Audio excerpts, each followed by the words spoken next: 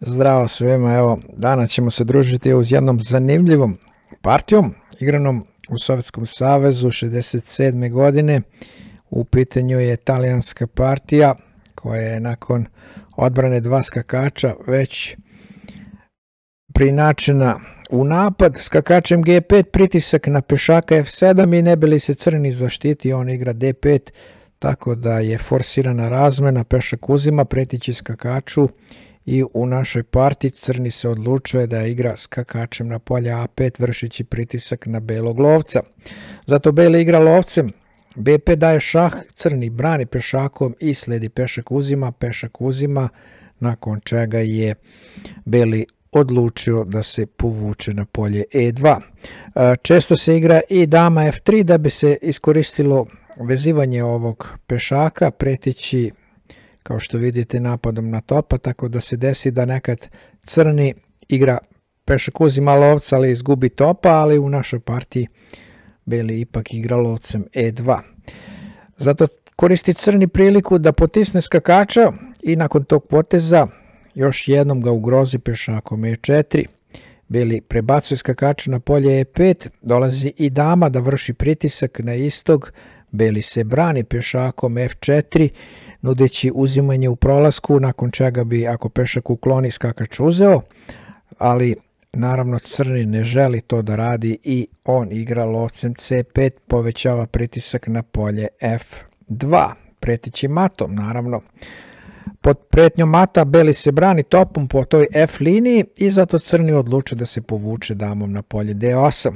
Sledi C3, sledi prebacivanje skakača na D5, da bi nakon tog poteza jednostavno beli uzvratio damom na polje A4, vrsići pritisak na pešaka C. Jednostavno crni odgovorio sklanjanjem kralja, posle čega je usledio napad beloga pešakom B4 i na ovaj način je osvojena jedna od figura.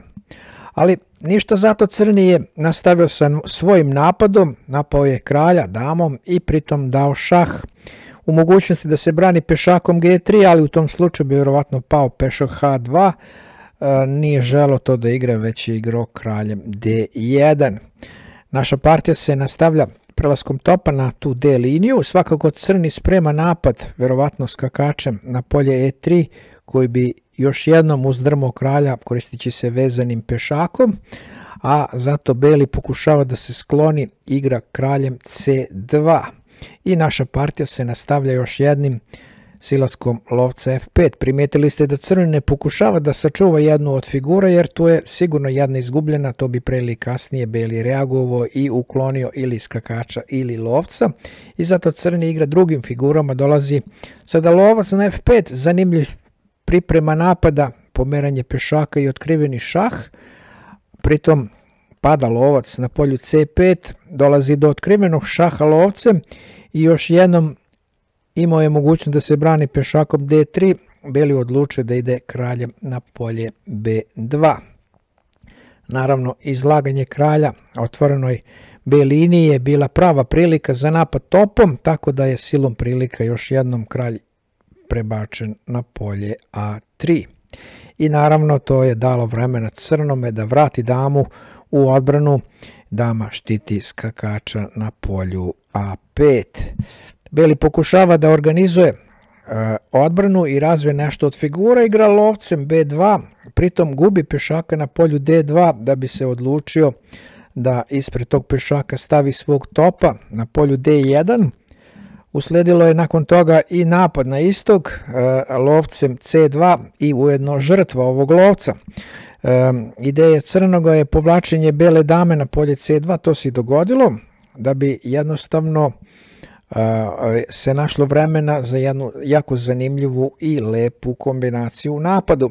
Šta mislite, kakav je plan skovao crni i kako je crni smislio da napadne ovog belog kralja?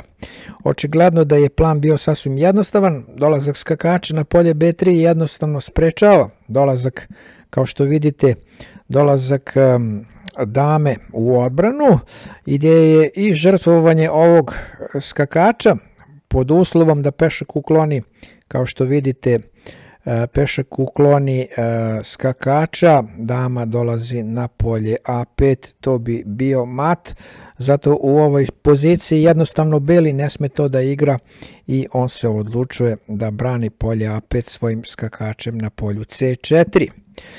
To daje vremena crnome da ukloni ovog topa na polju A1 i još jednom dilema šta igrati. Dalje, sada je napadnuta dama, e, pretnja je takođe i silazak skakača na polje E3 što bi bio napad na damu i na topa.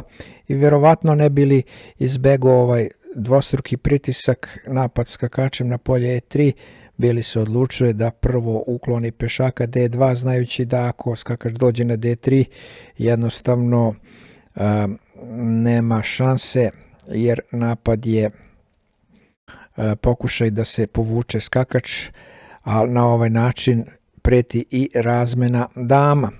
I šta je na ovo odgovorio Crni? Crni je odgovorio jednom neverovatnim, jednim neverovatnim, neverovatnim potezom. Crni je na potezu, igra potez i naravno pobeđuje.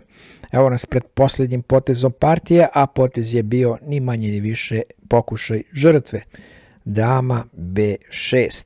Stavljanje dame na ovo neverovatno polje je forsiranje u neku ruku i to je dovelo do pobjede crnoga. E, zašto je ovo forsiranje? Jer preti dama A6, to bi bio mat, kao što vidite, nakon naravno odbrane skakačem i uzimanja istog, e, ali u slučaju da jednostavno beli igra direktno pešak uzima damu, šta bi se dogodilo pešak uzima pešaka, otkriveni šah od strane topa, jedina odbrana je skakač i top uzima skakača, takođe je mat. Vratit ćemo se još jednom na taj fantastični potez i videti da li bi postojala mogućnost da se prilaskom kralja nešto sačuva, ali u tom slučaju bi prvo usledio šah na polju B5, prisilno vraćanje kralja i nakon dame A6 forsiranje odbrane skakačem i gubitak skakača bi takođe bio mat. Jedna jako komplikovana i jedna haotična situacija na tabli, ali zanimljiv kraj i neverovatni lepi potezi sa ovim pokušajem žrtve dame. To je sve što sam vam spremio za danas. Jedan veliki i pozdrav. Do sutra.